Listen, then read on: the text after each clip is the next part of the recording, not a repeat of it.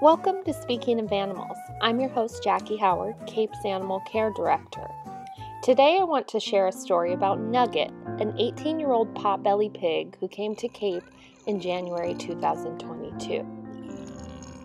Nugget was adopted as a baby in Texas by a wonderful couple who clearly loved him and took excellent care of him throughout his life.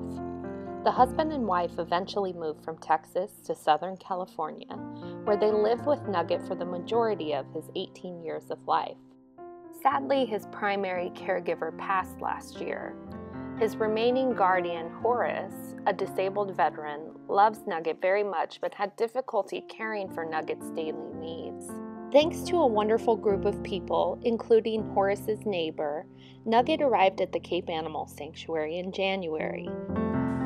Nugget slept in a ginormous bed of straw, and the next morning, the Cape Animal caregivers assessed him.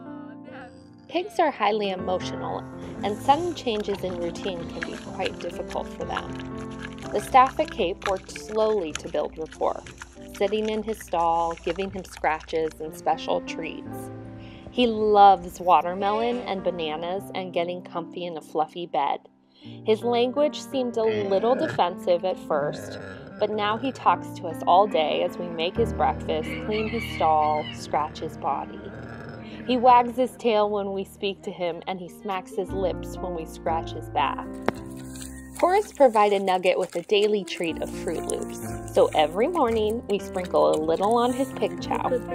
Nugget also eats fresh made meals twice a day with a plethora of options like smoothie bowls, pumpkin oatmeal, rice, greens, and mashed potato. After breakfast, Nugget has been known to break into the love shack of Rusty and Rita, two disabled chickens who share a stall with Nugget.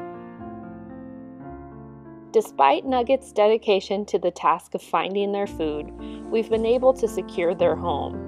Rita, a gentle and wonderful hen, can often be seen hanging out with Nugget in his bed or roosting on top of his back. Nugget also shares an enclosed part of the upper pasture with LaBelle and her one year old baby, Maggie May, who both have a viral disease contagious to other goats. They can't be with our large herd of goats, so LaBelle and Maggie seem to enjoy Nugget's sweet presence. In the late morning, they'll all explore their enclosed space together, or Nugget will find a nice cozy spot to nap or sunbathe. In the afternoon, after he's worn himself out from hanging with LaBelle and Maggie, Nugget will cover himself in straw. When we come in, he greets us with grunts and that beautiful smile. We provide special treats, body scratches, massages, and overall health checks throughout the day. Horace's decision to find a home for Nugget was a difficult one, and Cape is deeply honored to care for their beloved 18 year old pig. While planning for aging and potential health issues can be an emotional and difficult task, we encourage you to plan for your animal family members. Building rapport between a person and an animal can help alleviate stressful transitions, especially for senior animals. We want to thank everyone who helped Nugget find his second home. We are so grateful. If you would like to sponsor Nugget, please visit our website at www.capeanimals.org.